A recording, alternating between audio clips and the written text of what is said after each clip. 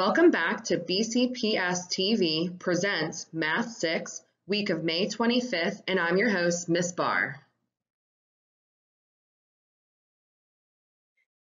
Before we begin, I just want to give a quick reminder about myself, especially if this is your first week tuning in. I'm a secondary mathematics resource teacher, and on your screen you'll find a picture of my husband Scott, my two bonus sons, Bruce and Charlie, and our youngest three and a half year old Kevin.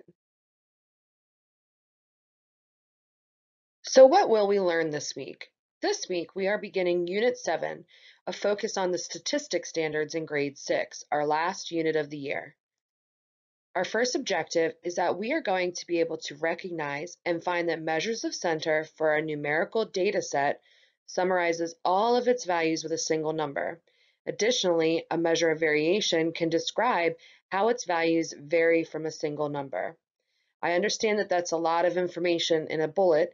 However, I want you to focus on the phrases that are underlined, measures of center and measure of variation. Our second standard and objective is that we will be able to display and summarize numerical data on box plots. Let's get started.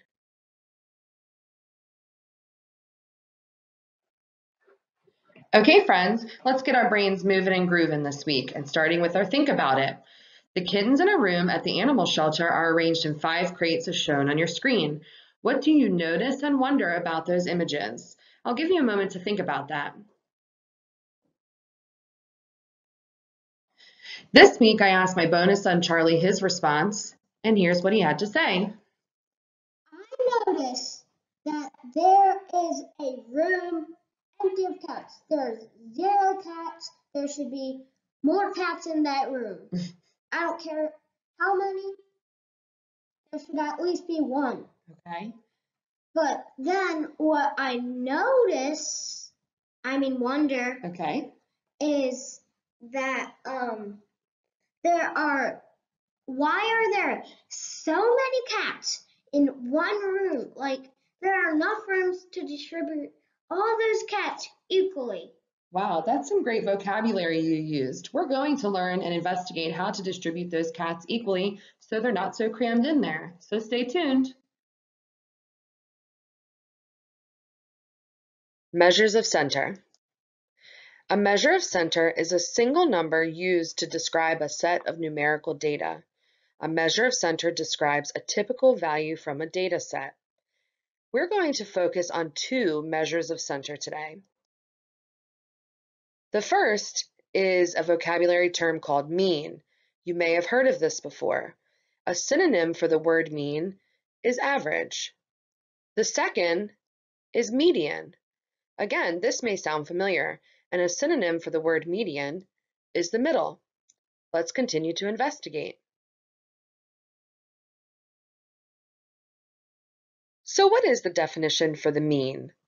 The mean is the sum of the items in a set of data divided by the number of items in that set of data, also called the average.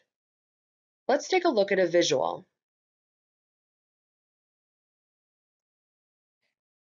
Now let's take a look at a visual representation of what the mean actually means. Let's recall the cats in a crate from our think about it. Remember, my bonus son Charlie was questioning why there are so many cats in crate three and none in crate five. And one of the things he had mentioned was how to distribute them evenly. Well, I want you to think about that for a moment. How could I distribute those cats evenly? First, let's count up how many cats there are. One, two, three, four, five, six, seven, eight, nine, ten. There are 10 cats in total, and there are five crates. So I am going to take some cats from crate three and begin to distribute them out to the places where there were no cats. Hey, would you look at that? All of my crates have the same number of cats. I took 10 cats and divided them evenly into five crates, which meant the average cat per crate would be two cats. Great job.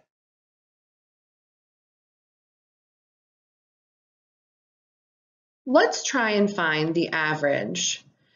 The heights in meters of the trees in a park are as follows. 7, 11, 9, 7, 6, and 8. The first step is to find the sum of all of the numbers. Sum means to add. On your screen, you will see that I have added 7 plus 11 plus 9 plus 7 plus 6 plus 8. And together, the sum is 48. The second step is to determine the total number of data points in the set. If I counted those up, you would see that there are six data points. In this case, it would be six trees in the park. The last step would be to divide the sum by the total number of data points in the set. So we have 48 divided by 6, which equals 8. 8 meters. The average height in the, of the trees in the park is 8 meters tall.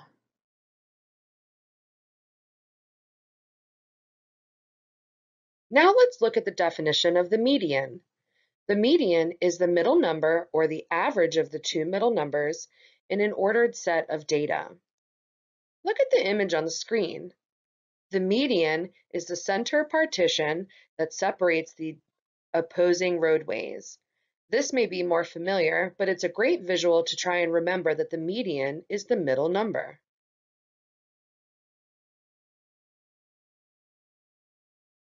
Let's find the median. The heights in meters of the trees in a park are as follows. 7, 11, 9, 7, 6, and 8. In order to find the median, we're first going to order our numbers from least to greatest.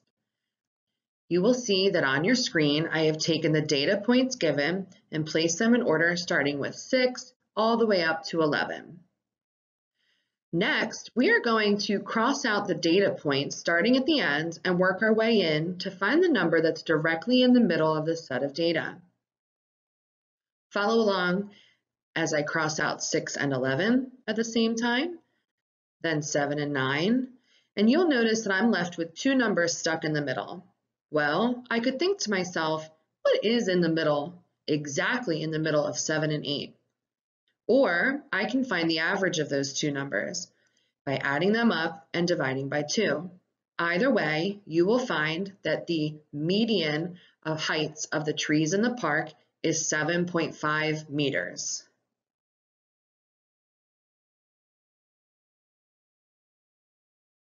Now we're going to look at the measure of variability. A measure of variability is also a single number used to describe the spread of a data set.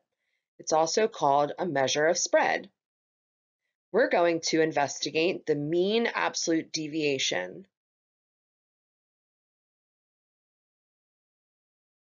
So what is mean absolute deviation?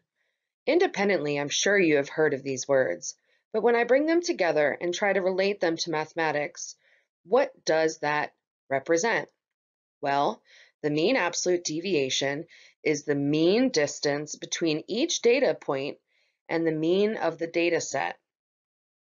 Let's take a look at what that would look like.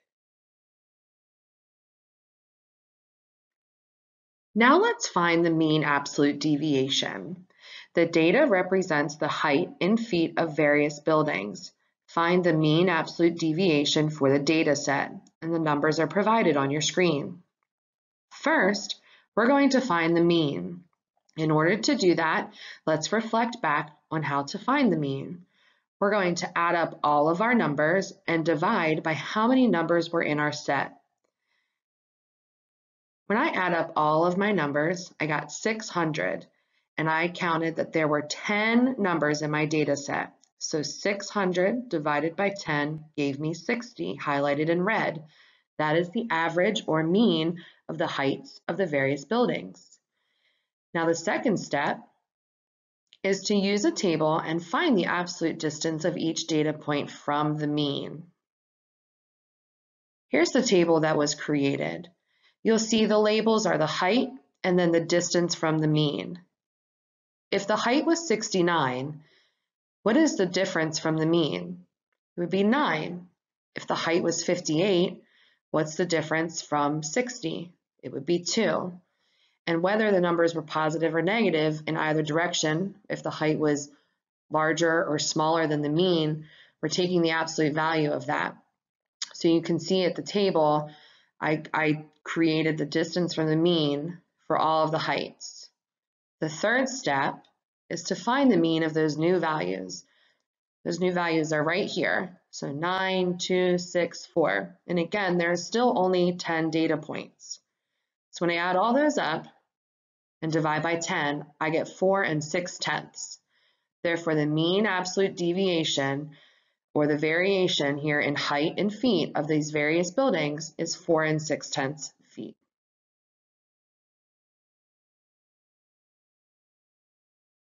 So now that we understand what mean, median, and mean absolute deviation is, and we've worked a few problems together, it's your turn to show what you know.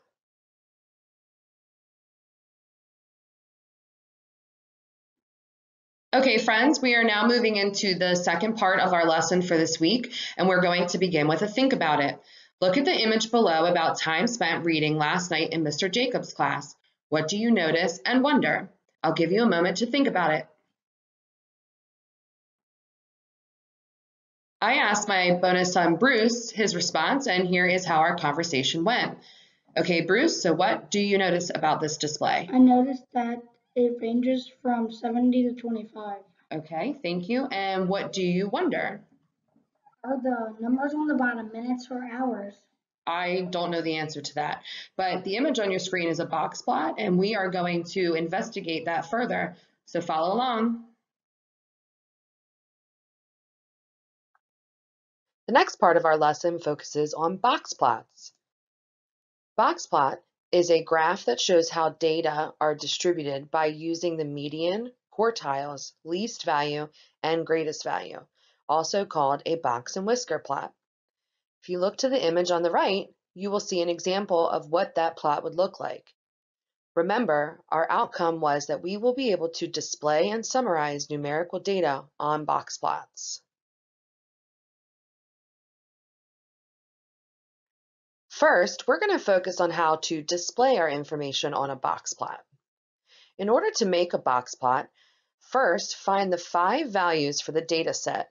This is also known as a five-number summary. Those values are the least value, also known as the minimum, the lower quartile, Q1, which is the median of the lower half of data, the median, which we discussed earlier, was the middle, the upper quartile, also known as Q3, which is the median of the upper half of the data, and the greatest value, also known as the maximum. This image was listed on the definition and it highlights the five number summary. I'll give you a moment to take a look.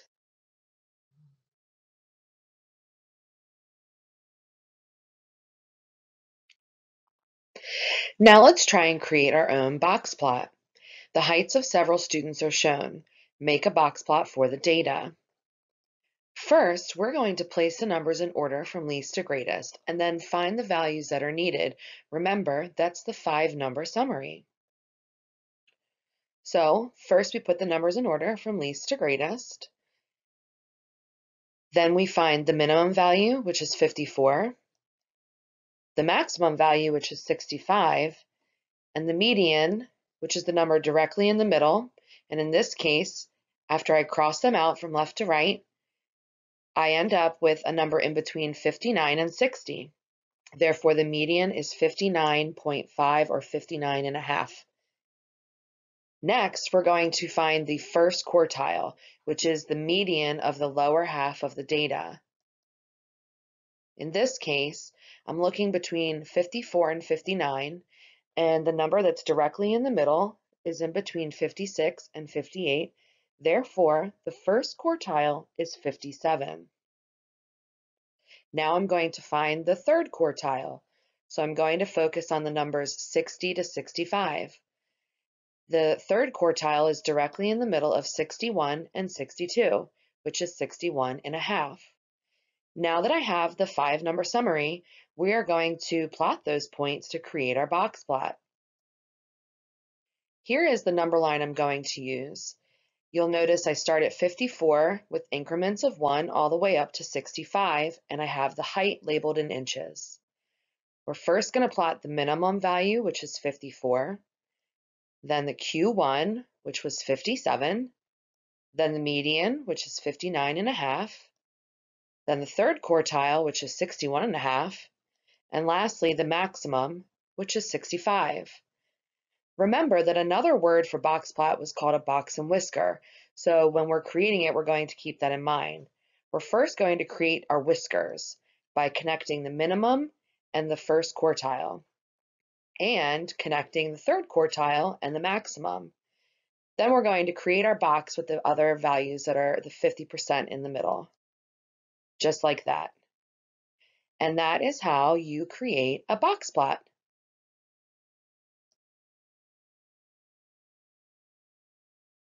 If you recall, our part of our outcome was to summarize information from a box plot.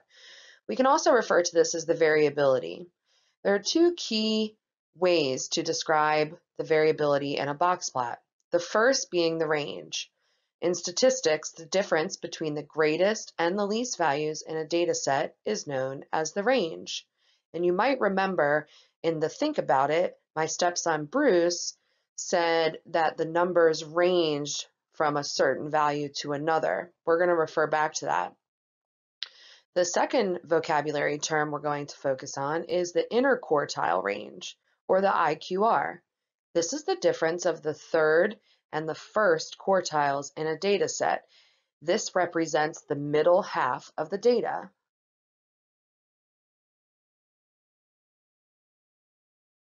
So let's give range a try. The data set shows the ages of the players on a professional baseball team. I'd prefer the Orioles. Find the range of the set of data. The ages are given, listed below, starting with 36, ending in 29.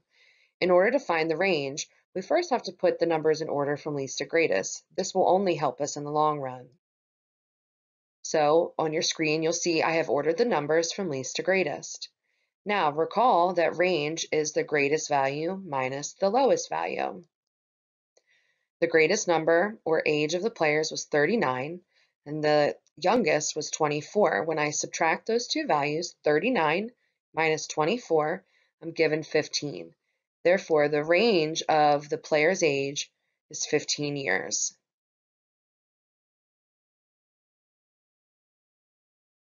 Now let's find the range in a box plot. If you can recall our image from the Think About It, it was a box plot and it talked about time spent reading last night in Mr. Jacobs' class.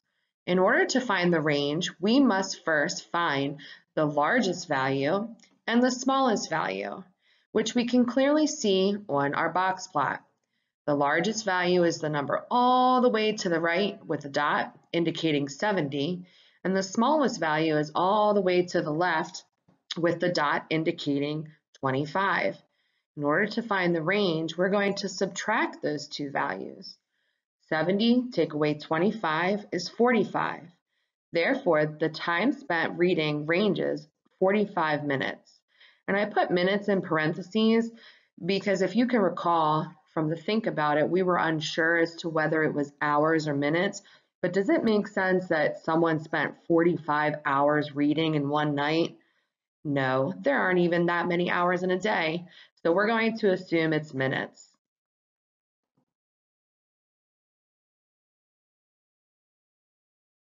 Now let's discuss variability in box plots by finding the IQR.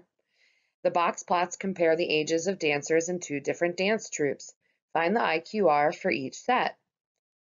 First, let's look at Group A. It is the green box plot. In order to find the IQR, we are going to subtract the upper quartile by the lower quartile. The red arrows point to the first and third quartiles of Group A. You'll notice that the first quartile is 20 and the third quartile is 24. When I subtract them, I get 4. Now let's look at Group B. We're going to find the IQR the same way, subtracting the upper and lower quartiles. The red arrows indicate Group B at first quartile as 21 and a half, and the third quartile is 26. When you subtract them, you get 4.5 or 4.5. What this tells us is that Group B has a larger IQR, and therefore its middle 50% of the data is more spread out than Group A.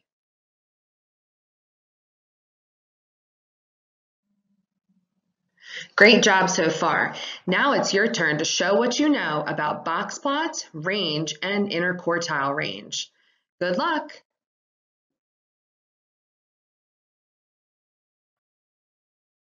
Let's reflect on what we did learn this week. Our first outcome was being able to recognize and find that measures of center for a numerical data set summarize all its values with a single number, while a measure of variation describes how it varies with a single number. Remember that measures of center were mean and median, and measure of variation, we focused on mean absolute deviation, range, and the interquartile range. The second objective that we learned was being able to display and summarize numerical data on a box plot. Remember, box plot has a five number summary, the minimum value, the first quartile, the median, the third quartile, and the maximum value.